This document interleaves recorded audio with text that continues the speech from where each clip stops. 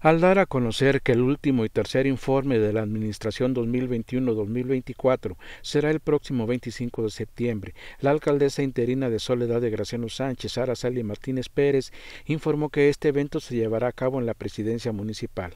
Estamos entregando una administración pues bien eh, eh, sana, ¿Y qué les puedo decir? Pues bueno, estamos al pendiente de todo. Y ahorita nos estamos también preparando para lo que es el informe de gobierno, que viene siendo el día 25 de este mes. Y bueno, pues va a ser aquí en el auditorio de, de presidencia. Dijo además que está por concluir el proceso de entrega-recepción al reiterar que se entrega una administración sana y en orden.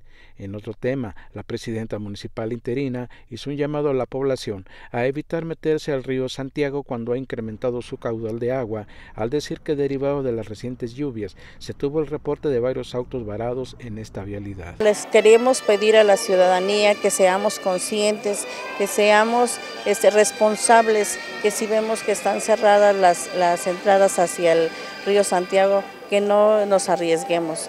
Precisamente ayer se atoraron tres vehículos y, creo que es más que nada la irresponsabilidad de nosotros como ciudadanos. Sabemos que el río lleva mucha, mucho cauce, mucha este, fuerza, entonces pues seamos responsables, más que nada si llevamos nuestras familias, es más, hasta nuestros vehículos, que seamos responsables. Eso es lo único que le puedo pedir a la ciudadanía.